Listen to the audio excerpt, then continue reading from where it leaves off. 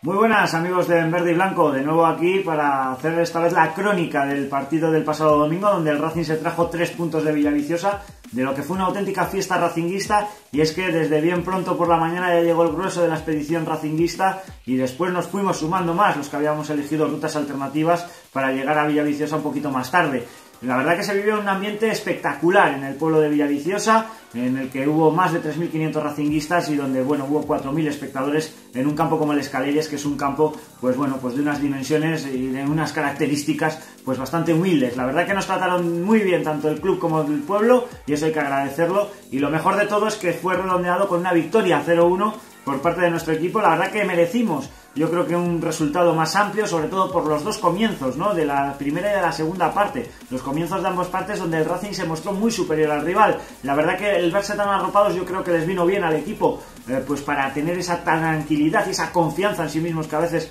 fuera de casa han demostrado que no la tienen, como por ejemplo en Cáceres, donde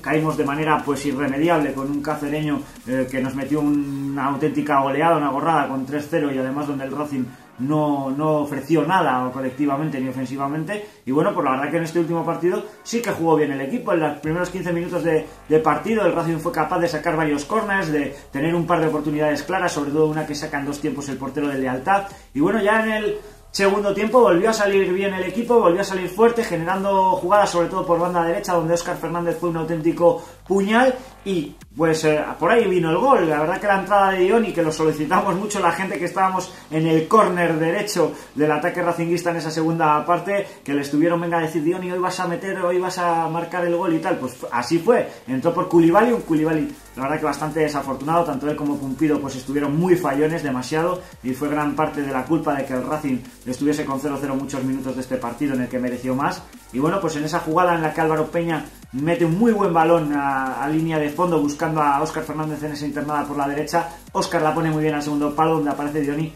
y marca el gol. Ya en esa celebración se gana una amarilla un poco absurda el bueno de Dioni y eh, la segunda amarilla, pues en una falta un tanto absurda, fue bastante riguroso el árbitro a mi criterio, pero bueno, eh, se le expulsó y a partir de ahí sí que el equipo racinguista sufrió, porque Lealtad nos metió en nuestro campo con 10 hombres el Racing, pero sí que se supo sufrir sin generar tampoco ocasiones claras el Lealtad, también hay que decirlo, y por lo tanto tres puntos muy buenos para buscar un final de temporada apasionante, nos quedan tres partidos y hay que dar el todo por el todo para conseguir esa primera plaza, pero que si no la conseguimos tampoco va a pasar nada, estoy seguro de que vamos a ascender, aunque quedemos segundos o terceros.